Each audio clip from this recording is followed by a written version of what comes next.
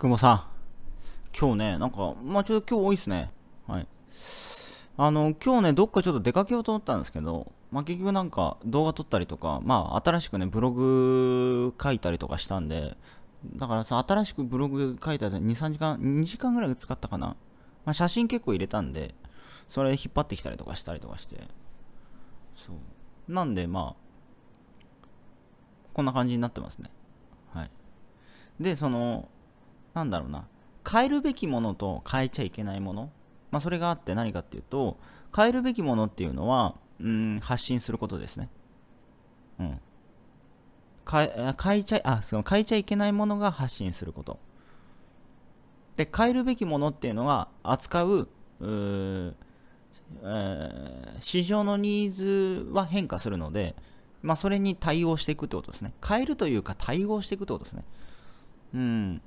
だからまあ、久保さんのさっきのあれでもあったんですけど、あのー、なんだ、え、速稼塾っていうものはずっと変わってないけども、内容はそのそのまちまち変わってるよというね、カメラ転売やったりとか、あ今は FX かとかね、まあいろいろその変わってると。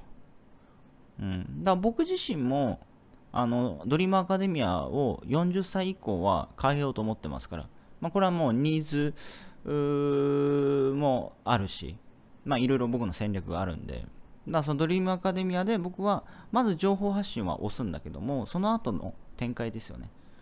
そのお金を使ってお金を増やしていくっていう FX の、えー、強めていく。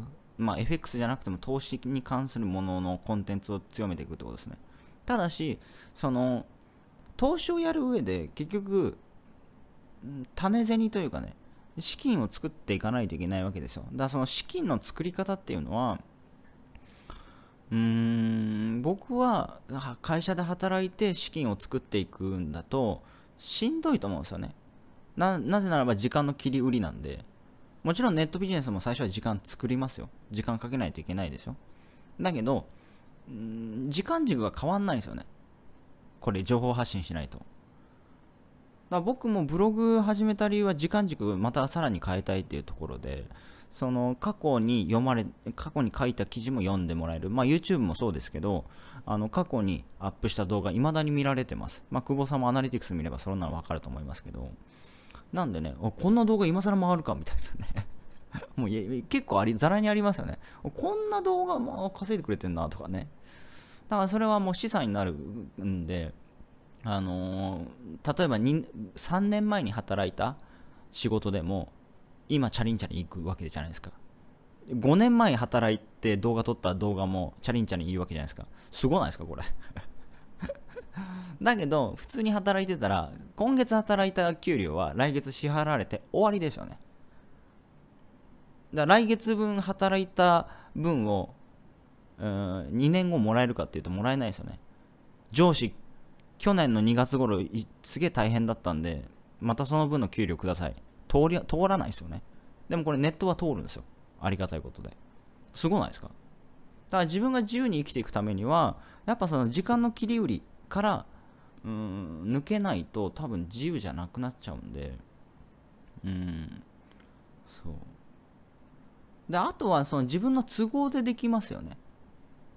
うん、例えばこの今日久保さんとのやり取りこうやってますけど、うん、自分のやりたいからやってる。でもこれだと会社だとお前仕事やれと。やらされてやらないといけないじゃないですか。か僕は別に返しても返さなくてもどっちでもいいですよ。例えば久保さんから脅されてるわけでもなく吉谷さん動画返さなかったら殺しますよとか脅されてるわけでもなく吉谷さん動画を返さなかったからあの給料上げませんよとかもないし。久保さんも僕も好きでやってるだけなんで そう。だから、他人からはね、他人からはなんか忙しそうだなとかね、他人からはなんか自由じゃないんじゃないかなと思われるかもしれないですけど、完全自由にやってます。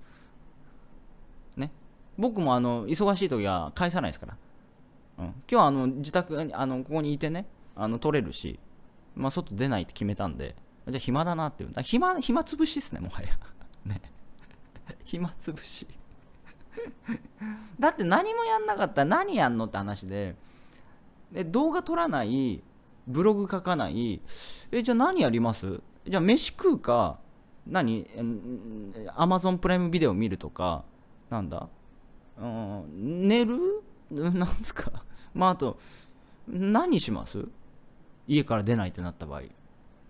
何するんですか？暇じゃないですか。僕テレビも見ないし、まあ他のなんかその娯楽見るぐらいですよねじゃあ見てるんだったら資産作った方がいいなっていうところで、まあ趣味、趣味みたいなもんですけどね、動画を撮るっていうのはもはや。うん。だからもちろんその、まあ疲れたなと思ったら僕もな、僕も、あの、なんか映画見たりとかしますけど、まだ明るいんでね。なんかその映画見るときは寝る前に見たいんで明るいじゃないですか。明るい時に映画ってちょっと微妙じゃない映画館って暗くないですかこの明るい中でね、このカーテンないんで ちょっとこれで映画見るの微妙なんで、まだそのモードに入れないんで、そう。